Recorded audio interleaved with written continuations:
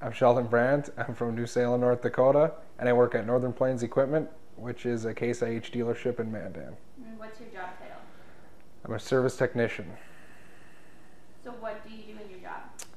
Work on various types of agriculture equipment, mostly Case IH, ranging from combines, tractors, swathers, or balers. Tell us about your education. Uh, I went to four years of college, uh, two years for criminal justice, and then two years of diesel technology at the North Dakota State College of Science in Wahpeton. Why do you like your job? I like it because I get to stay in the field of agriculture, and uh, growing up on a dairy farm, I was around agriculture a lot. How many hours do you normally work? Uh, eight hours a day at this job. Do you take work home with you? On occasion, we have to take work home, otherwise, not all the time. What kind of do you take home? If I'm trying to figure something out that happened at work, I'll take home a book and I'll do studying to try and figure out what the problem is. How would you describe the pace at which you work?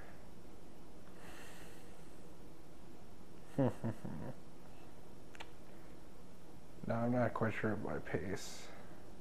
Um, is it fast paced? Do you constantly have something to do? Are some days slower than others? Or um, are some days you're just doing, you know, research or other days you just constantly out working on equipment? Oh. Well, most days uh, there's always stuff to do, uh, depending on the season.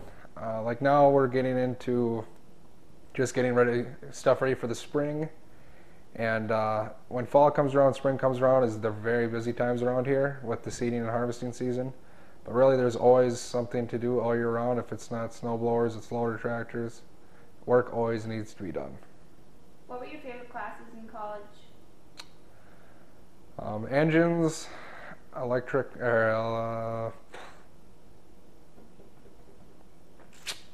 trying to think of the word. I liked I liked uh, powertrains and engines, and then in my first two years of college, I liked all my criminal justice classes and government. How has your education prepared you for your career? Uh, it prepared me. I basically got a jump start on what I'm doing now. Uh, they don't.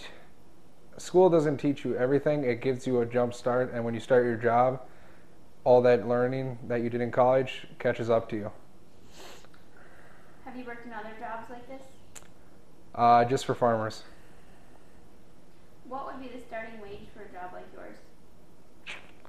Uh, hourly or yearly? Either or. Uh, probably around 14 bucks an hour. And I'm not sure what that comes out to yearly. Why did you choose this career? I chose this career so I could stick around uh, my home farm and work here and work at the farm at the same time. And plus, I like working on uh, agriculture equipment or any kind of diesel equipment. What do you think it takes to be successful in this career? Uh, hard work, and you have to pay a lot of attention to detail because as new machines come out, things just keep getting more complicated and you can't mess up any. Do you travel for your job? Yes. So once in a while, calls come in where you have to go and work and stuff in the field, no matter what time it is. So you will do traveling in this job. What do you find are the most difficult decisions, if any? Uh, when you're out on a service call, which is not in the shop, and you're trying to figure out something that you don't have the books for, and no one's there to help you, you have to buckle down and do a lot of hard thinking there. Do you work independently or on a team? Some projects are independent, some it takes two people to do something, but mostly it's all independent. Any advice that you would give to a high schooler who may be interested in diesel technology? Um, advice is make sure it's something you want to do because once you get into it, it is a very good career. From here, you can move up, keep going up the ladder. There's a shortage of diesel jobs anywhere. You can find a job anywhere in the United States. So it is a very good job. You just got to make sure your heart's in it.